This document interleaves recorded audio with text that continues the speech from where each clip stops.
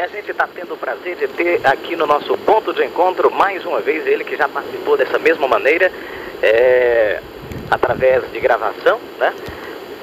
O nosso querido Carneiro Portela, um dos radialistas mais verdade, ele tem um talento em tudo que faz e desempenha muito bem a sua função de radialista, como divulgador, principalmente das raízes nordestinas. Carneiro, muito aquele abraço, é um prazer muito grande a gente é, conversar com você mais uma vez aqui no programa. Tudo bem, cara? Tudo bem. Um abraço para você e para os seus ouvintes do programa Ponto de Encontro. Eu também sou seu admirador, sou seu fã, principalmente depois que conheci melhor a sua verve, o seu talento artístico, quer como narrador, como, como é, humorista, como animador de programa, como comunicador de primeira linhagem, hoje emprestando o seu, o seu talento, a sua garra ao nosso rádio interiorano. Quero parabenizar você e a todos os seus ouvintes dizer que realmente o nosso rádio precisa de gente do seu talento, da, do, do trabalho que você realiza, que é muito importante. Carneiro Portela, me diga uma coisa, como é que nasceu essa sua paixão pelas raízes? nordestinas, pela música nordestina, pelo Luiz Gonzaga, pela poesia popular. Como foi que nasceu isso com você? Isto veio, veio comigo, né? De, desde a minha infância no sertão, filho de agricultor, ouvinte de rádio para passar o tempo. A nossa única diversão no sertão era o rádio. E o rádio que tocou as músicas do sertão, aquilo me contagiou sobremodo, né? O sertão mora em mim. E acho que isso é importante porque quando a gente cultiva as raízes, a gente sempre continua caboclo. Isso é um pouco diferente do, dos meninos do sertão daquele tempo, porque você é, conseguiu se formar, sou, sentou na cadeira de uma universidade, de uma faculdade, tem várias formaturas e apesar de ter conseguido ter conquistado várias formaturas, você não se desligou das raízes, você continuou ligado às coisas do nosso sertão que infelizmente estão esquecidas hoje. Né? A gente já não. A gente sabe que muitos jovens de hoje não conhecem o Luiz Gonzaga. O que, que você diz a respeito disso? Olha, Júnior, eu não sei como é que tem gente besta que conhece o sertão, gente sertaneja que nega as raízes do sertão. É um preconceito imbecil. Não gostar do sertão é simplesmente ter um atestado de imbecilidade. É, eu continuo sertanejo, continuo agricultor, tenho meu, minha fazenda onde vou todas as semanas, para não esquecer de que eu nasci no sertão e o sertão me oferece a fonte principal da minha vitalidade intelectual. E quanto a Luiz Gonzaga em Morredouro, né? Luiz Gonzaga é enciclopédico, Luiz Gonzaga é tudo na nossa música, tanto depois que ele se foi, a, o forró tomou um rumo cretino, né? fazem qualquer bobagem e dizem que é forró. Isso eu acho uma perversidade muito grande. Principalmente, Júnior, agora está surgindo um fato novo dos estelionatários da música. Né? É bem provável que gente, muita gente vá ser presa. Cantor, banda de forró, é, produtor, dono de conjuntos musicais, é que eles estão indo para o estúdio, eles estão indo para o estúdio, levam quatro, cinco piruazinhas para gritar e o computador amplia milhares de vezes a voz daquele imbecil e jogam no ar como forró ao vivo. Isso é um estelionato, é um 171, é uma propaganda enganosa. É a mesma coisa que você embrulhar esse gravador que você está me entrevistando e vender-me como um aparelho de rádio, uma televisão, é uma mentira, viu? É, o público está sendo lesado, né? Então isso é um 171, um crime de ação civil pública, não depende, não depende de queixa, o próprio Estado é quem tutela a ação, e eles não estão sabendo disso, por, por, ou não estão sabendo ou não querem saber. Já já vai dono de banda para cadeia com essa história, cantor para cadeia com essa história de gravar ao vivo. Se o cara vai para uma praça pública ou para um, um, show e grava ao vivo, tá certo, é ao vivo. Mas o imbecil vai no estúdio, né? Só ele e o cretinão lá do produtor, do, do, viu? E fica dizendo que a gravação viva, aí fica. Ilusão, né? E é, ilusão, fica, fica mentindo na música toda, com anarquia. Aliás, é a péssima qualidade. Eu acho de, eu acho de alto mau gosto essa história de música ao vivo, de gravação ao vivo, porque é tudo mentira. E sinceramente, nego, é, na hora que a justiça e a polícia se der conta desse fato delituoso, vai botar muito dono de banda na cadeia. Picaretagem mesmo. Ô, Carneiro Portela, me diga uma coisa. Depois do Luiz Gonzaga, quem você acha que chegou mais perto do rei do Baião? A milhões de quilômetros. Ninguém. Está muito distante. Luiz Gonzaga não tem substituto. Já podemos viver mais umas dez existências, já mais não tem ninguém que chegue bem perto. Dominguinho, coisa nenhuma, está muito longe na voz, no carisma, na identidade cabocla, na safona que puxava. Está muito longe, não tem ninguém no Brasil. E principalmente agora, quando é, é, os artistas regionais é, enveredaram por esse negócio de banda, conjunto musical. Porque esse negócio de banda, juntando tudinho, não dá uma inteira. É uma, é uma cretinidade, uma vigarice. Todo empresário falido bota uma banda. De cada dez pessoas que você encontra, um é dono de banda. Cantor velho nojento, que não tem dinheiro para pagar a passagem do ônibus, eu e minha banda, aqui a minha banda se manda, meu filho. Não iluda um grupo de, de músicos, e o músico é tão. Fica iludindo, eu e minha banda, aí o cara desse vai trabalhar na ligação com o cara, né? Mas tem ninguém que chegue perto do Luiz Gonzaga. O, o nosso querido Dominguinho, o que, que você diz? Está muito longe. Dominguinho é outra escola, uma escola mais clássica, não é? É, mas é assim a milhões de quilômetros, não tem nem comparação. Dominguinho tem um valor dele, evidentemente, mas se você partir, o próprio Luiz Gonzaga fez várias tentativas de entregar a coroa para o Dominguinho, o povo não aceitou. O, o reinado do Sonó continua sem coroa. Carneiro Portela, você como doutor, né, a gente pode falar assim pelas suas formaturas, que são muitas, e como artista, locutor, apresentador de televisão, radialista, qual foi sua, a, a sua convivência com Luiz Gonzaga? Existiu alguma vez por algum momento uma aproximação sua do Luiz Gonzaga? Há muito, por telefone, quando ele vinha aqui em Fortaleza, ele ia para o Nordeste, para o Ceará Caboclo, ele, não, ele sempre ia para o meu programa, passava o programa todo com a gente lá, ele deixava de fazer uma apresentação na Globo para fazer no Ceará Caboclo, porque ele gostava de frescura, né? Luiz Gonzaga é um homem simples, ele via que o meu trabalho era um trabalho puro, humilde, e ele preferia o Ceará Caboclo a qualquer outra, outro programa de televisão, né?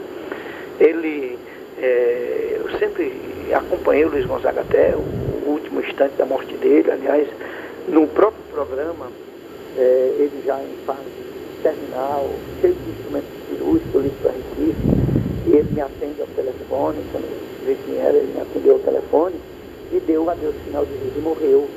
Eu terminou com um grito de dor.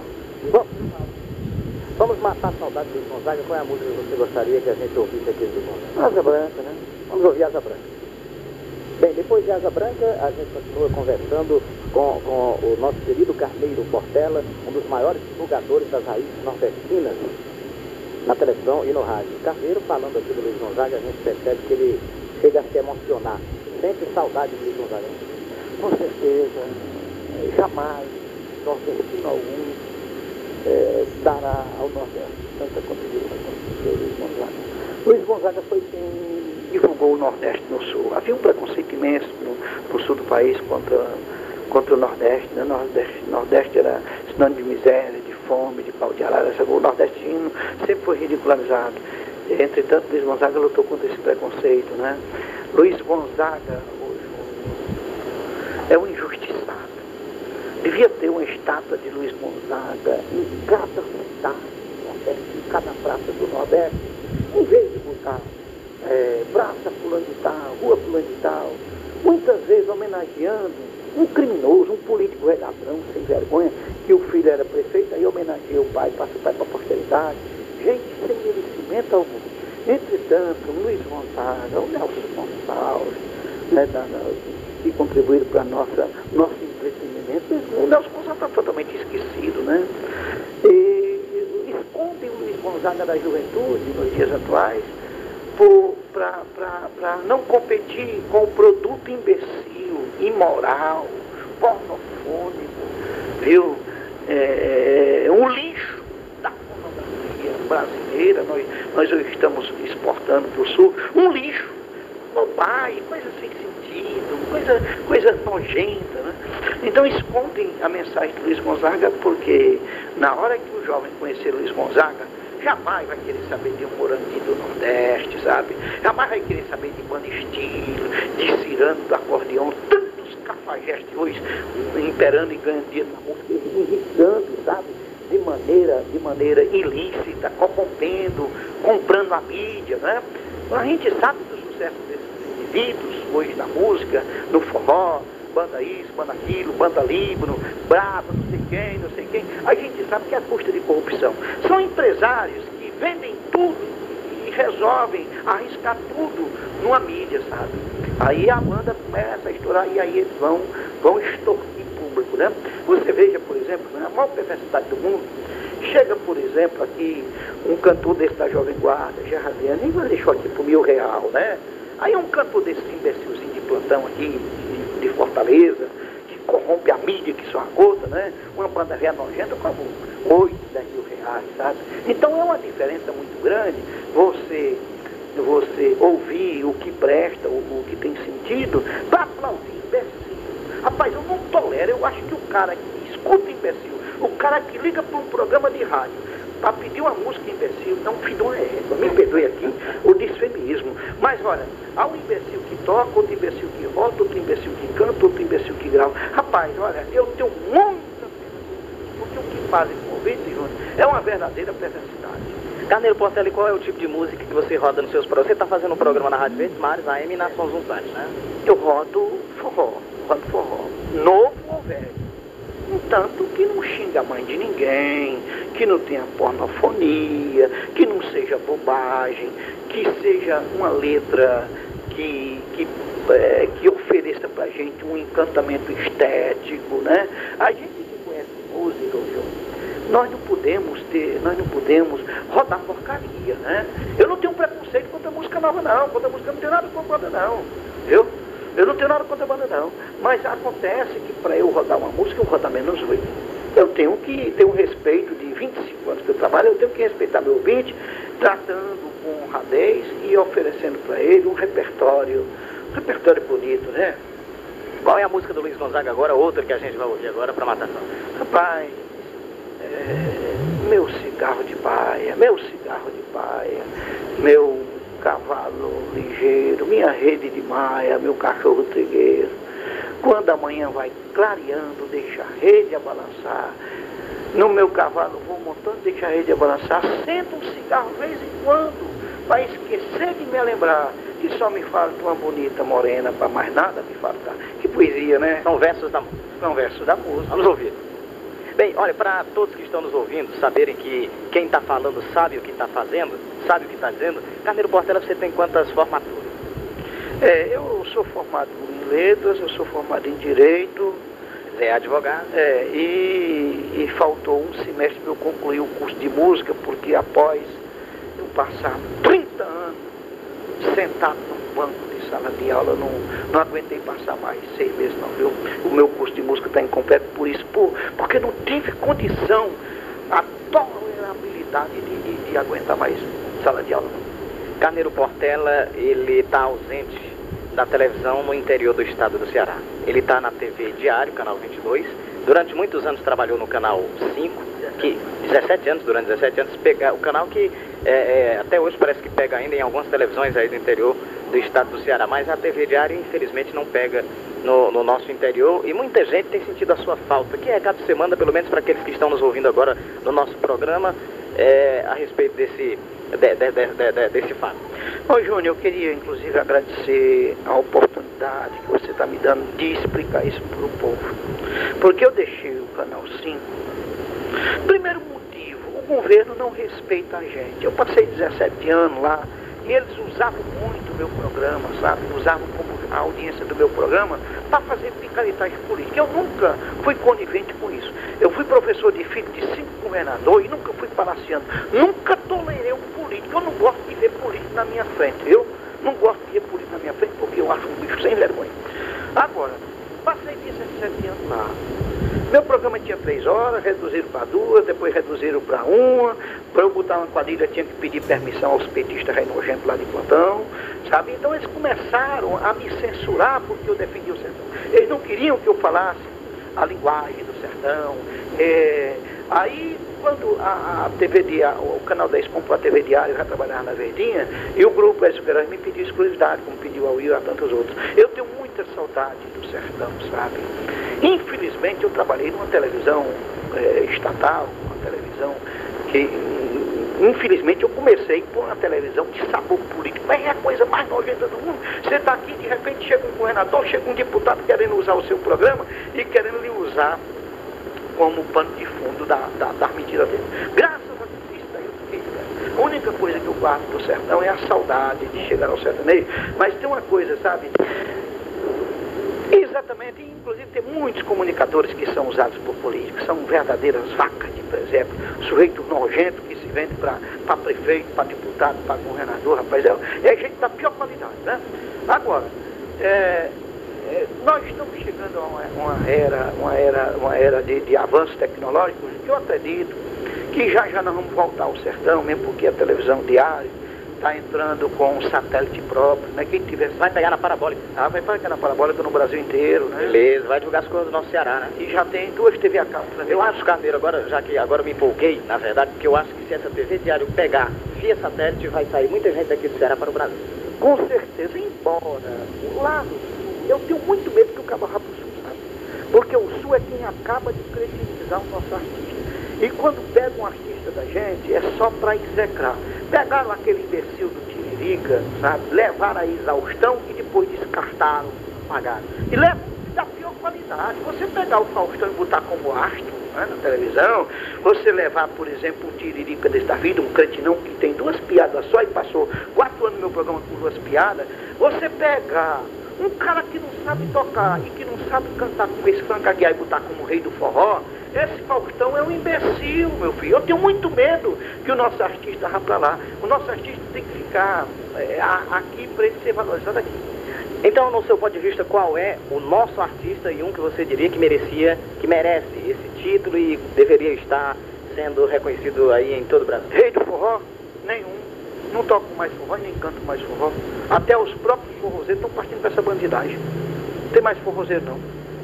Tem nenhum, nenhum artista nenhum artista nordestino que, com, com, a, com, a, com, a, com, a, com, com, com, o talento de, de nordestinidade e coroa de forró de leite baião, rapaz, olha, pode passar daqui mais mil anos não aparece mais Carneiro Portela, você também compôs músicas e algumas de suas músicas foram gravadas por cantores aqui do, do Ceará.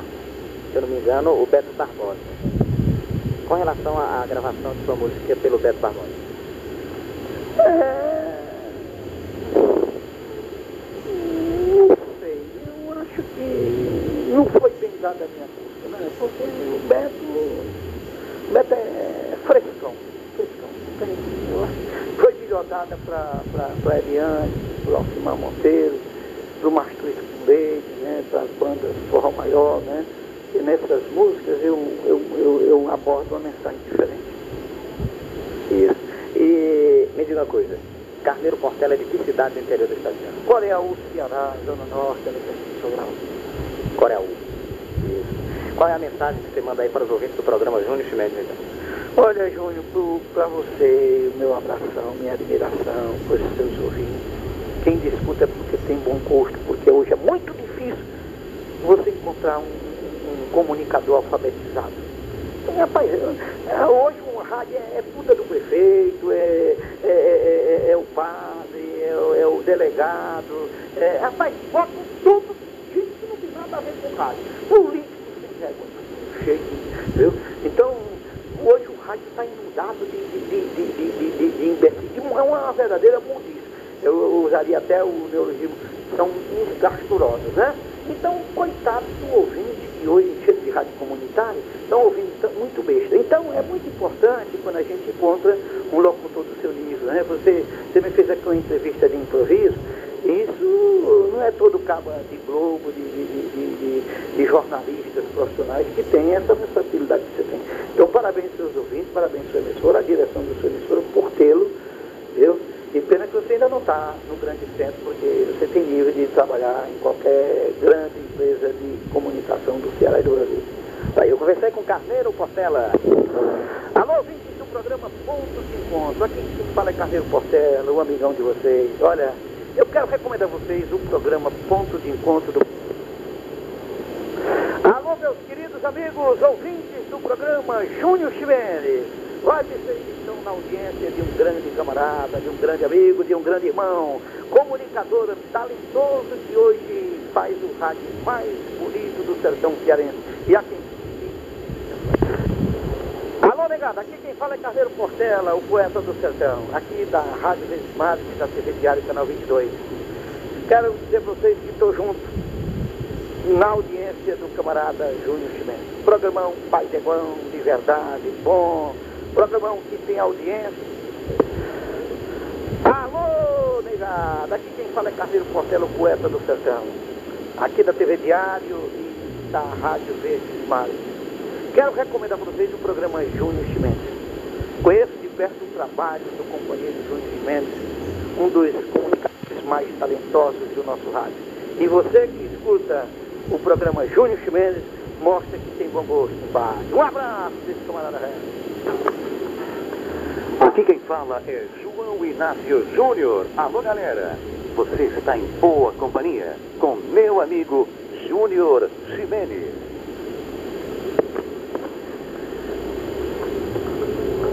Alô galera, João Inácio Júnior conversando com você. Tem um prazer, uma alegria muito grande de estar participando do programa do meu amigo Júnior Ximenes. E aqui nessa região vocês têm um profissional da mais alta qualidade, que deveria estar trabalhando em centros extremamente adiantados. Júnior Ximenes. Quero ver você aqui em Fortaleza, trabalhando em, em alguma rádio aqui, Ximenes. Você é um bom profissional, sabe comunicar, sabe lidar com as pessoas e tem uma voz excelente. Parabéns para você e parabéns para o pessoal da região que tem Júnior Ximenes é, na Rádio Santa Fé. Um abraço.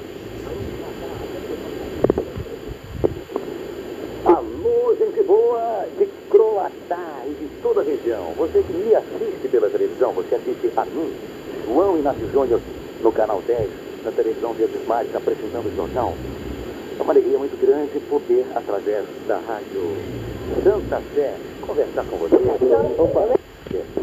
E dizer que meu amigo Júnior Ximenes é um excelente profissional. Eu fico muito feliz em poder participar do programa do Júnior Ximenes, porque sei que é um profissional qualificado, é um profissional de é, grande talento de voz belíssima. Você tem aqui um grande profissional. Parabéns, parabéns ao povo de Croatá e de toda a região. Júnior Cimenez, um abraço para você, meu amigo. Obrigado pela entrevista.